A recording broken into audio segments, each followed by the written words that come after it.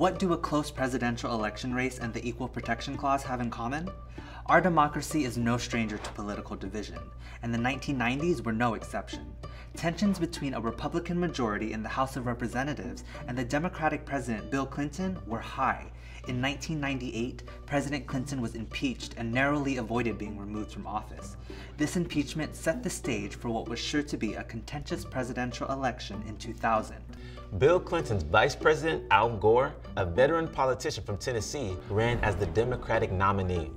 Texas Governor George W. Bush, son of former President George H.W. Bush, ran on the Republican ticket. After election night, the vote count was extremely close. The aftermath would raise an important constitutional question. What is the role of the Supreme Court in resolving political disputes? This is the case of Bush v. Gore.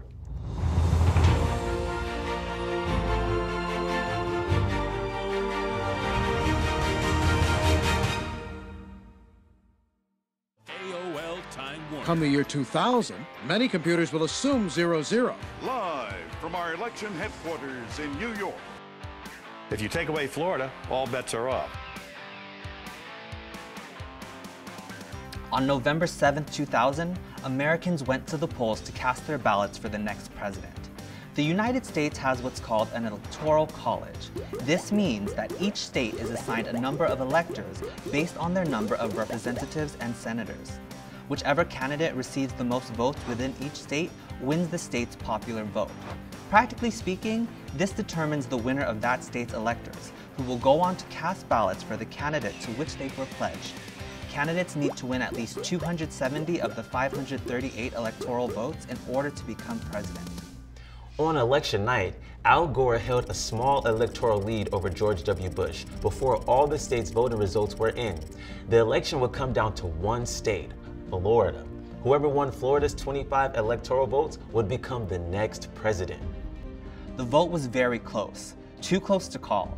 Out of nearly 6 million votes that were cast in the state, Bush was initially winning by a margin of only 1,784 votes. However, Florida law required a statewide machine recount when the margin of victory was one half of 1% or less. During the recount, Bush's lead shrunk to only 327 votes. Gore then demanded that ballots in four heavily Democratic counties be recounted by hand, a recount which Florida law required to be finished in one week. To make matters even more confusing, two conflicting laws stated that the Florida Secretary of State both may and shall ignore late counts beyond the one week deadline. May? Shall? Those are pretty different directives. So, which was it? At the time, Florida's incumbent Secretary of State was Katherine Harris, a Republican who also served on Bush's campaign team. She announced that she would not accept recounted votes that came in after the deadline. However, in a 7 0 ruling, the Florida Supreme Court ordered Harris to continue the recount until November 26th, two weeks past the original deadline. Yet, after the deadline passed, some votes had still not been recounted, and Bush still remained in the lead. Harris prepared to certify Bush as the winner of Florida. By winning the state, he would become the next president.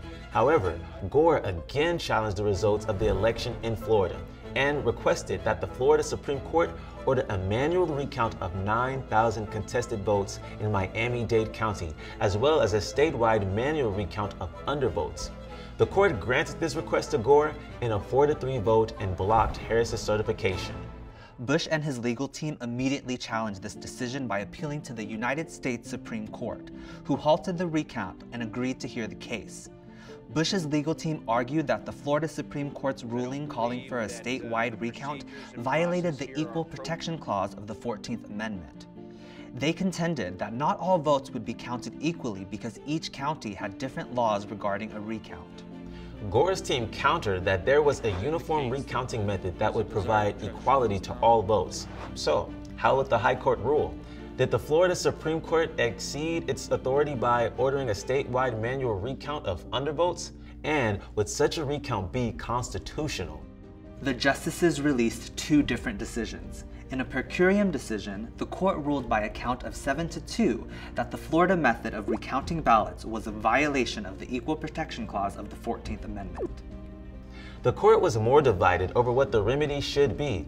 In a 5 to 4 decision, it ruled that there was not enough time to complete a constitutionally sound recount. The majority stated, Upon due consideration of the difficulties identified to this point, it is obvious that the recount cannot be conducted in compliance with the requirements of equal protection and due process without substantial additional work. Not all the justices were convinced. Justice Ruth Bader Ginsburg argued the majority was making an untested prophecy when it claimed that a new legal process could not be adopted before December 29th when Congress would ratify the Electoral College vote. In a separate dissent, Justice John Paul Stevens argued that the majority violated the principle of federalism. He wrote, the Constitution assigns to the states the primary responsibility for determining the manner of selecting the presidential electors.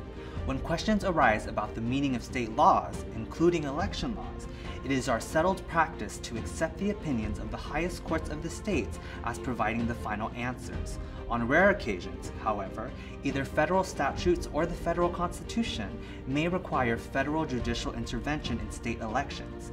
This is not such an occasion. After the decision, Al Gore conceded the election, and George W. Bush was inaugurated as the 43rd President of the United States on January 20, 2001. The Supreme Court had been thrust into a hotly contentious and partisan situation, and ultimately played a major role in shaping the results of the election.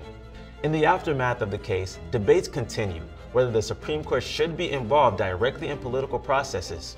Will the court become involved again in the political question involving the Equal Protection Clause? This was the case of Bush v. Gore.